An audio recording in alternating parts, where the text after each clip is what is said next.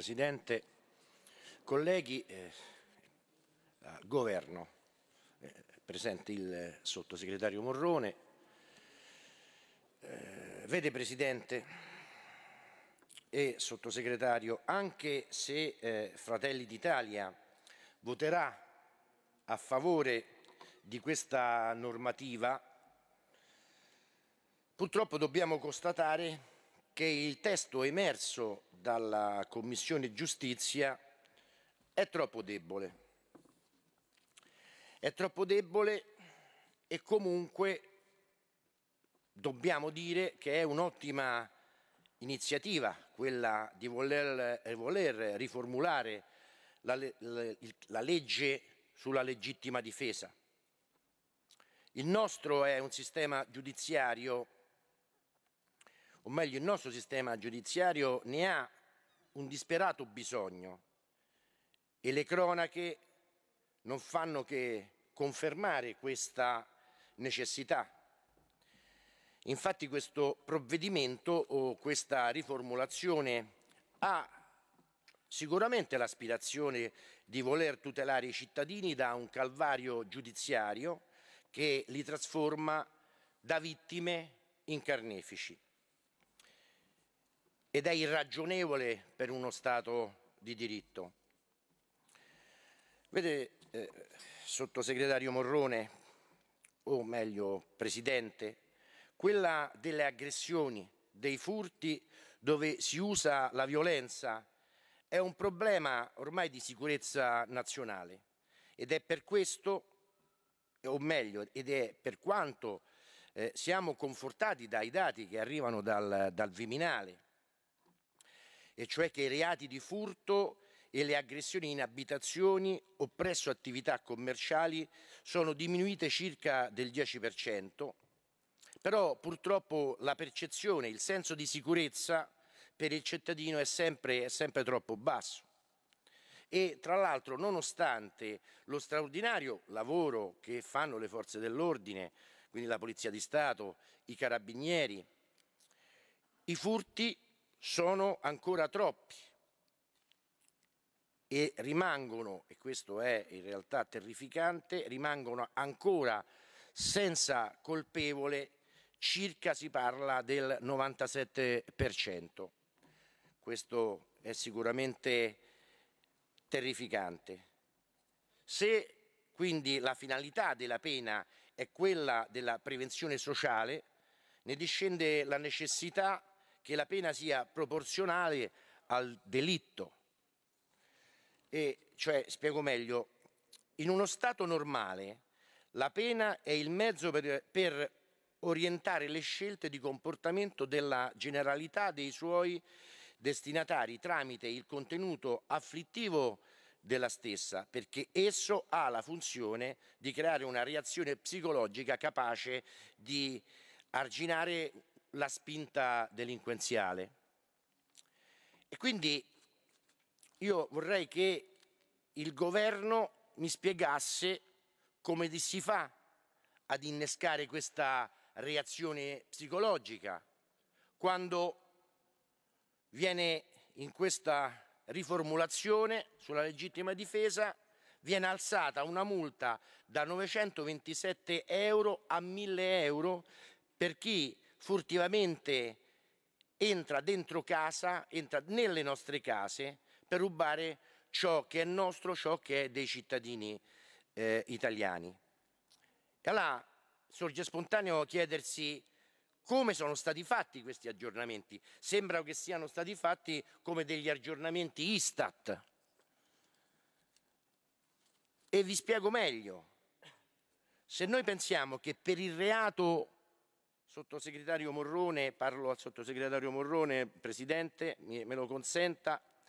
Se pensiamo che il reato di rapina, per il reato di la, la multa passa da 1.290 euro a 2.000 euro,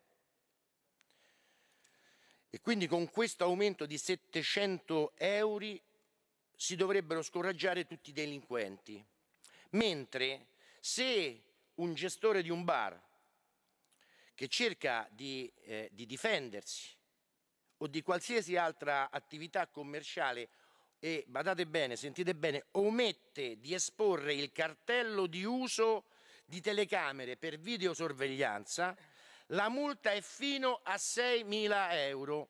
Io credo che questo sia in realtà, le chiedo di rivederla questa, di vedere questa situazione, sottosegretario.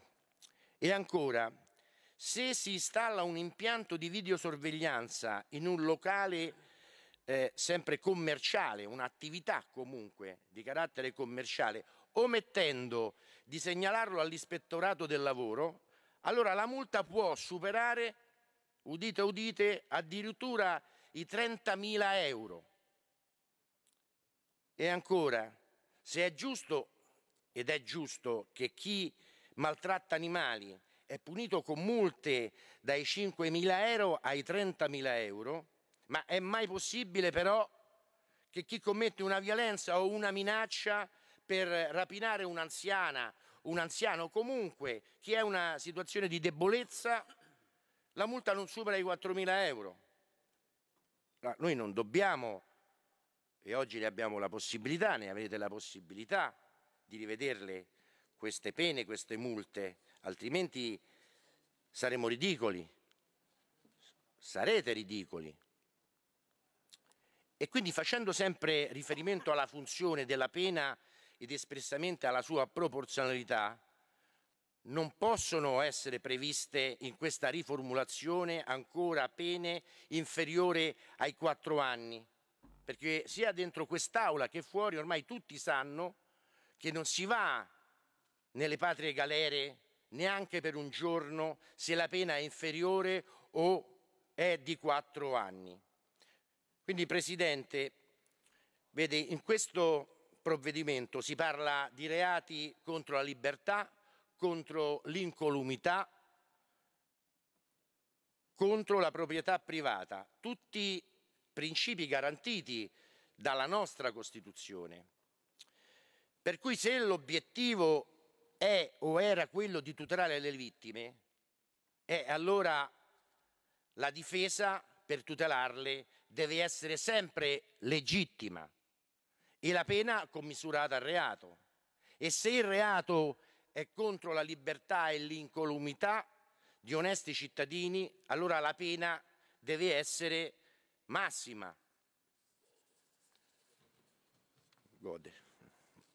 Comunque, ribadisco, è comunque ottima l'iniziativa di riformulare la legittima difesa, la condividiamo e la condividiamo anche perché è una battaglia che Fratelli d'Italia porta avanti da tanti anni. E voglio tra l'altro ricordare che la proposta è stata presentata proprio da Giorgia Meroni, ma quello era un testo molto, diciamolo, più coraggioso di questo, perché senza equivoci affermava che la difesa è un diritto e pertanto è sempre legittimo.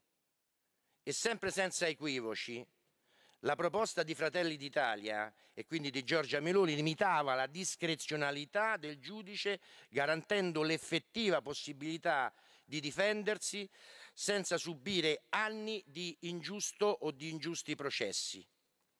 Concludo e ribadisco, anche se Fratelli d'Italia voterà a favore di questa modifica normativa riguardante la legittima difesa, ci dispiace, mi dispiace, perché credevamo di non essere i soli a credere nel principio assoluto che la difesa è sempre legittima, ma purtroppo in questo testo dobbiamo dire che resta ancora, lo ripeto, l'ampia discrezionalità del giudice, concludo Presidente, e rimane ancora la proporzionalità tra difesa ed offesa.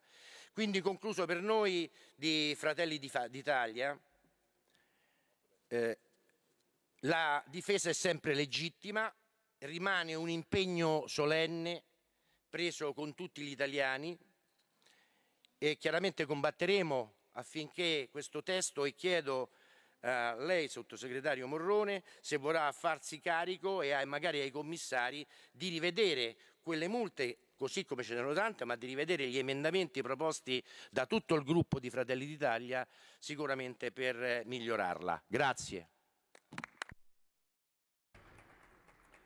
Grazie a lei. Ha chiesto di parlare il deputato Manfredi Potenti.